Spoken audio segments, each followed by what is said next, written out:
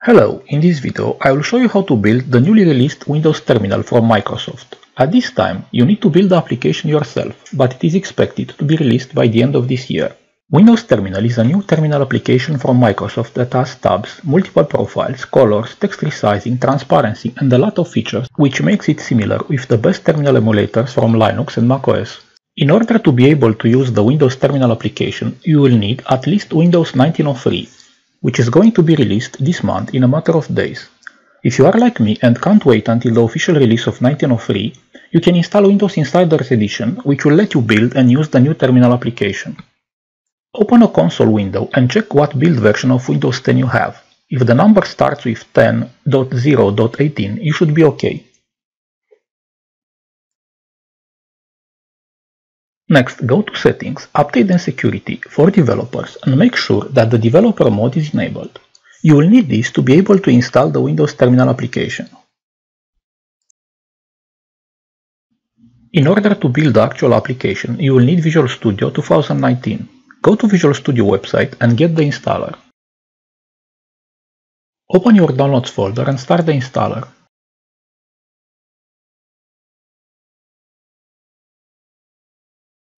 You will need to select at least two workloads, desktop development with C++ and the Universal Windows Platform development.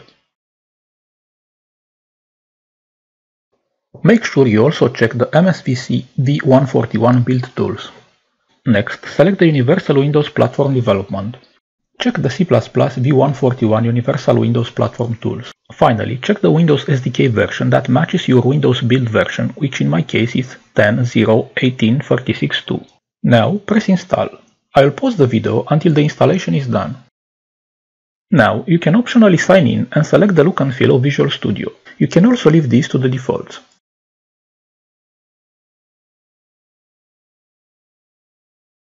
Next, we'll need to install Git for Windows. Start the installer and accept the defaults.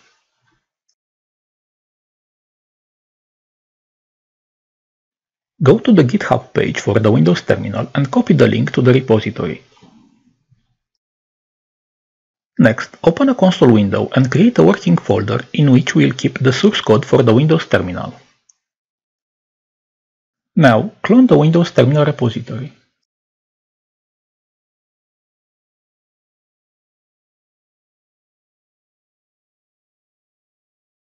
Go inside the terminal folder and get the remaining parts of the code.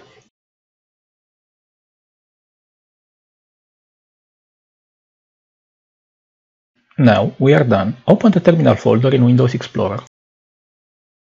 Double-click on the Open Console Solution file and open it with Visual Studio 2019.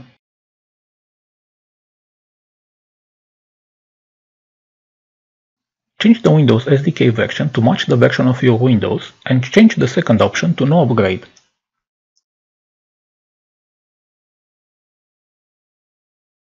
Press Install and wait until Visual Studio Installer gets the required libraries. Choose Yes. Press Install.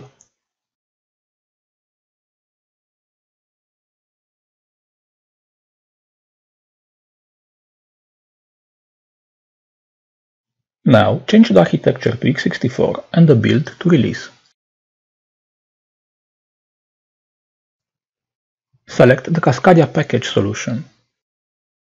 Use the build menu to build the solution and wait until the compilation finishes.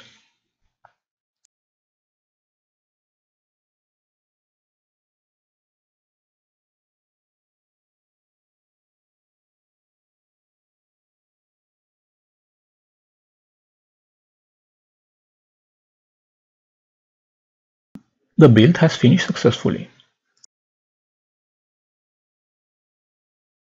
From the Build menu, choose Deploy Solution and wait until you see the confirmation message. Now we are done. You can find the newly installed Windows Terminal in the Windows Start menu.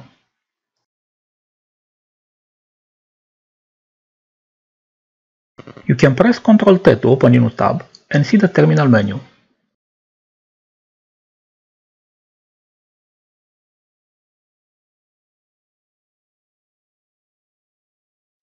Thanks for watching and please like, share and subscribe.